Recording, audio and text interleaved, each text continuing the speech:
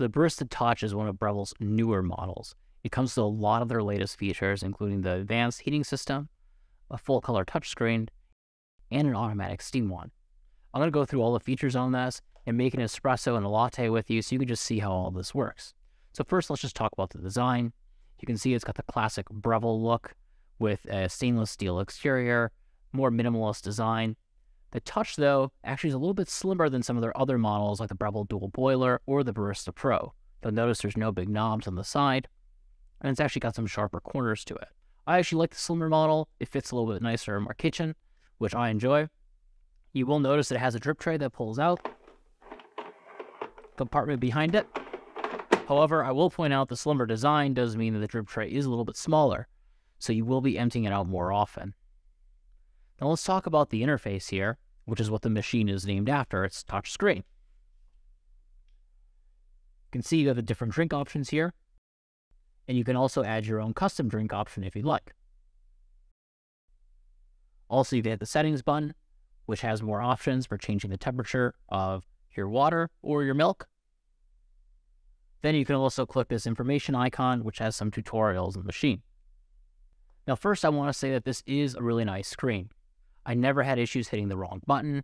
It was always right on, which I appreciate. I'm someone who's a little bit skeptical of this kind of technology, especially when it's such a small screen, but I never had any issues with it. So credit to Breville for doing this right. Also, the screen is very intuitive. I never needed to use the manual to figure out where to go. It was all right there. Now, one con of the machine is I didn't feel like I quite used all the features though. So let's spend a little bit more time talking about the drink options so you can understand how it works. So there's five drink options here, the espresso, Americano, and then three milk options, latte, flat white, and cappuccino. You can also add hot water, or like I said, you can make your own drink. Now let's talk about these milk drinks so you understand how they're different, because that's probably what you're going to be using the most.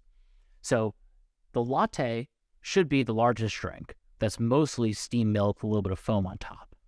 Meanwhile, the cappuccino is a smaller drink, which is equal parts espresso, steamed milk, and foam. And the flat white is similar to a cappuccino in the sense that it's a smaller drink, but it doesn't have any foam. So it's just espresso and steamed milk. Now, the thing is, like I was saying earlier, don't really use the differences on this machine. For example, if you look at a latte, you'll see the grind, the brew, and the milk is almost the exact same as a cappuccino. When you look at them both side by side, you'll notice the only difference is the milk texture is just one setting higher, which on a scale of 1 to 8 isn't that much, actually. So I do find that you're probably just going to choose one option here and use that going forward. Now let's talk about the internals of the machine.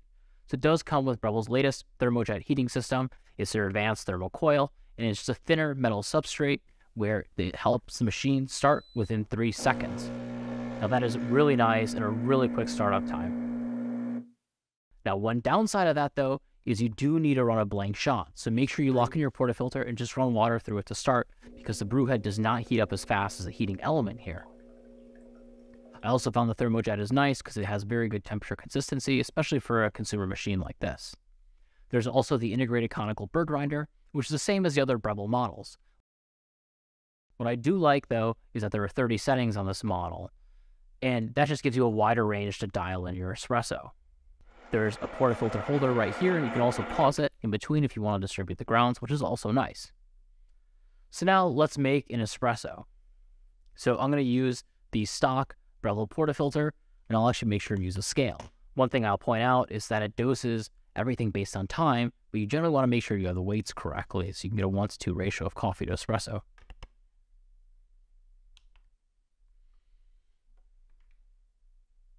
So when you click the drink, you'll see that there's a latte, and you'll see that there's the three settings here for grinding in the left, brewing in the middle, and the milk frothing on the right. And that's pretty much the same for all of the drinks. So like I said, I usually just hit latte, mostly because it's in the middle. That's how I get started. So now that we're here, we're gonna hit grind.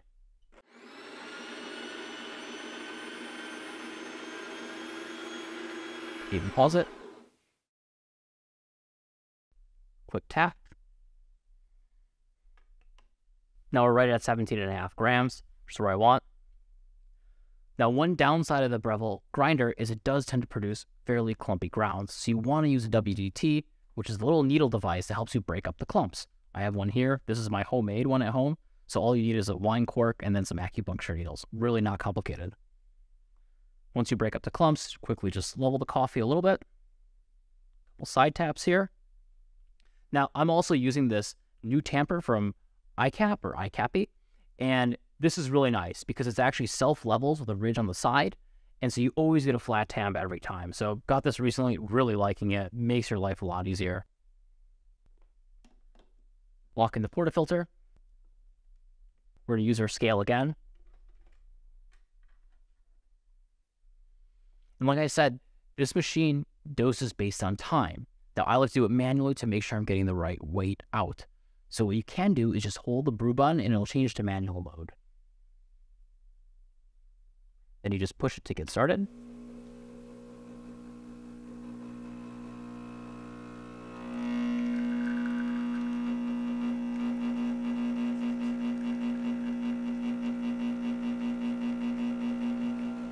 You can see we've got 40 grams out, so pretty close to 1 to 2 ratio. The shot looks really nice. There's a good crema on it. So I'm pretty happy with this one.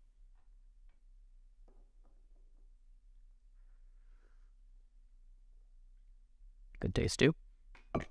Okay, so now let's talk about the steam wand, which is my favorite part about this machine. So like I said earlier, the Barista Touch has an automatic steam wand. You'll notice there's this temperature sensor right in the base here that regulates all the frothing activity. So all you really need to do is fill up your milk jug, put it underneath, and then choose your settings and the machine will do the rest. I think I do about five ounces of milk in this jug, which is about enough is all you need. So now before you start frothing, you'll see the settings are right here on every drink screen on the right. Now, there's settings for temperature and for texture. So the machine defaults to about 150 degrees milk temperature. Now, I find that's a little too high. You can actually go to your settings and change your milk temperature from a default of 150 to 140.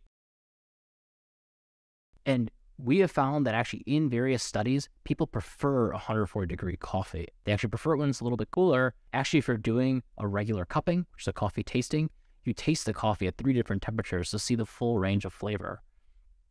Personally, if you haven't done a cupping, I highly recommend it. It's a lot of fun. So now we're going to go to 140 degree temperature. And we're also going to choose a texture setting of about three. So this texture goes from one to eight on this machine. Now, we've done it at different textures and we found that actually makes a difference. I don't quite understand how the machine works at different texture settings, but it does work. I found that from a one to just getting a heated milk to a five, getting some milk, a little bit of foam on top, to an eight, where you're getting a true kind of cappuccino and the thick foam on top. Found if you're using a non-dairy milk, an oat milk, you should go two settings higher. But we're going to go three because I prefer something closer to a flat white. He said once you push this, the machine does the rest. Actually, the temperature go up as it gets closer to that and stops right at 140.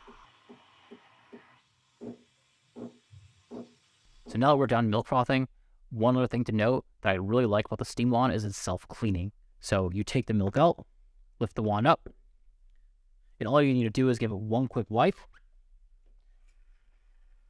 And then the machine auto purges, which is really nice.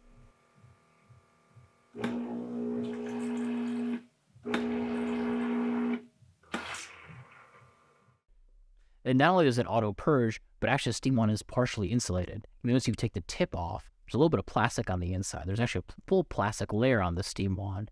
What that does, it keeps the milk from just getting totally crusted on the steam wand. So when you clean it off, like I said, it's one quick wipe and it's done. So it's really no mess. When we reviewed the Breville Bambino Plus on this channel, I had some mixed thoughts on it. I felt like the self-clean was a little aggressive and it sprayed everywhere. But that's not the case in the Touch because the drip tray actually has two layers. It has this metal top and then has a plastic layer before the bottom. And that just prevents the purging from going everywhere when you're cleaning off the wand. So really nice all around. So I'll try and pour this out, see if we can get some latte art.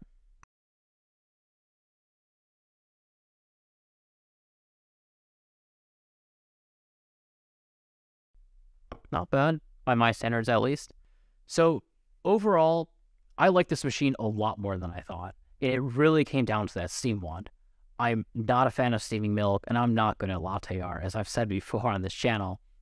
And so having this that has a lot of different settings, a lot of different temperature changes, that's very accurate every time. It also is really easy to clean. To me, was a big plus. Now the thing is, this machine does cost over a thousand dollars, so it's a little bit on the pricier end of the Breville models. I think it really depends how much you value ease of use. If you're making lattes every day and you want something that's easier to clean, this is the machine for you. It'll work great. Now, if you're just making espressos and Americanos, I would go with the Breville Barista Pro, which to me actually may have the even easier interface because it's just a little simpler. And it still has a very good steam wand, maybe even better if you're really into steaming milk. Overall, though, this is a great choice. You can look and find the product link in the description below. Also, if you enjoyed this video, I'd really appreciate if you hit like or subscribe to see future videos because it really supports our channel.